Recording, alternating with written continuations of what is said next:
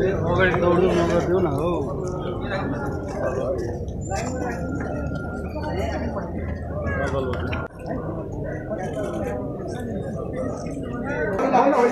तलबाट तान्ने हो कि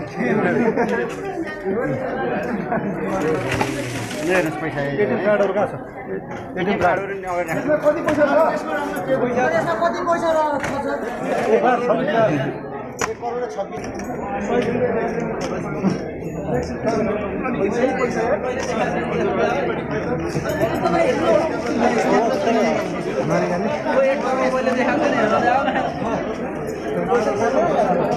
यसमा अब कसको समानता हुनसक्छ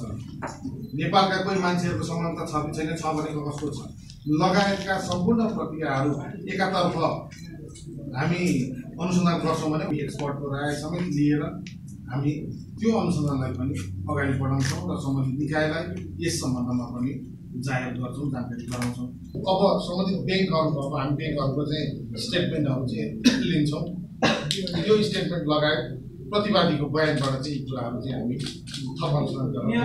दुई दिन अगाडि मात्रै उनीहरू तिन दिन आजभन्दा तिन दिन अगाडि मात्रै नेपाल आएको र यी मध्ये चाहिँ तुरुन्तै फर्किने र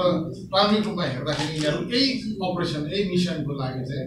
उनीहरू आएको जस्तो देखिन्छ। अहिलेसम्म सरस्वती हेर्दाखेरि तिनवटा एटिएम बुथ चाहिँ प्रयोग भएको चाहिँ खबर आएको छ। एउटा दरमार्गको एउटा ठमेलको हिमालय ब्याङ्कको र एउटा अर्को प्रभु ब्याङ्कको हामीले एटिएम बन्द गर्नुपर्छ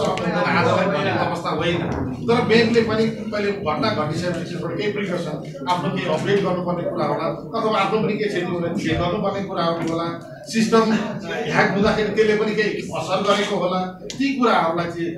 के अरे अपडेट गरेर चाँडोभन्दा चाँडो सेवा कार्यालय सेवा दिन्छौँ भनेर उहाँहरूलाई